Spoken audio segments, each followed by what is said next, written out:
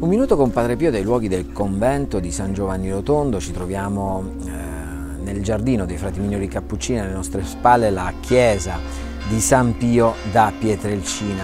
Oggi qui per raccontarvi la storia di Isabella, una donna di Terni che racconta questa storia ricca di fede, eh, in particolar modo ecco, un miracolo particolare, sin dagli anni 93-94 sente un legame profondo con Padre Pio, pur non avendolo mai conosciuto. Ogni occasione è buona per lei per partire in pellegrinaggio verso San Giovanni Rotondo, spinta da una devozione sincera. Non so come spiegarlo, racconta, ma ogni volta che posso parto per San Giovanni Rotondo e per ritagliarmi un momento con Padre Pio, incontrarlo.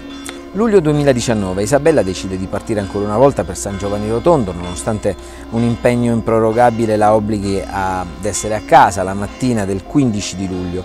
Parte in auto, da sola, a bordo racconta della sua fidata panda.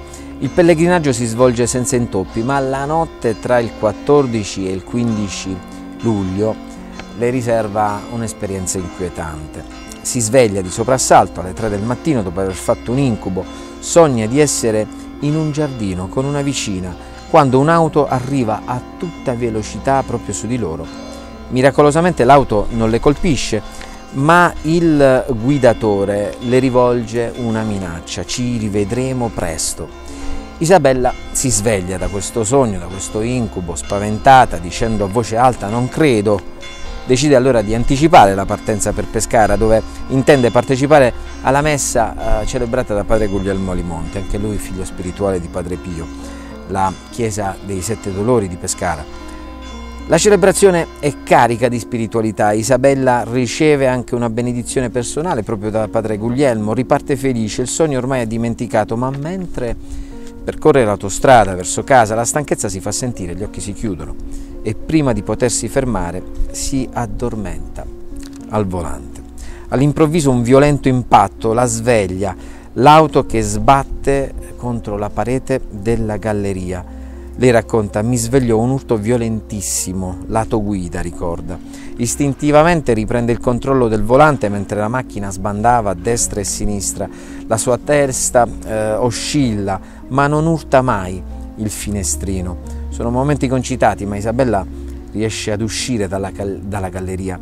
Miracolosamente trova un'area di sosta dove si ferma tremante. Grazie, Padre Pio, esclama. Quando esce dall'auto per vedere i danni, si accorge che lo specchietto laterale sinistro è stato tranciato, la fiancata dell'auto è gravemente danneggiata, ma lei è illesa, senza un graffio. Si ferma da un carrozziere a Rieti, il quale, senza neanche ascoltare la sua storia, le dice eh, lei è stata veramente miracolata. Isabella risponde convinta sì, da Padre Pio. Ripensando a quel sogno, all'incidente, capisce che la minaccia del sogno si è trasformata in salvezza grazie proprio all'intercessione di Padre Pio e da quel giorno Isabella non smette di recarsi a San Giovanni Rotondo proprio per ringraziare Padre Pio. Mi ha salvato la vita, è sempre con me e non mi lascia mai sola.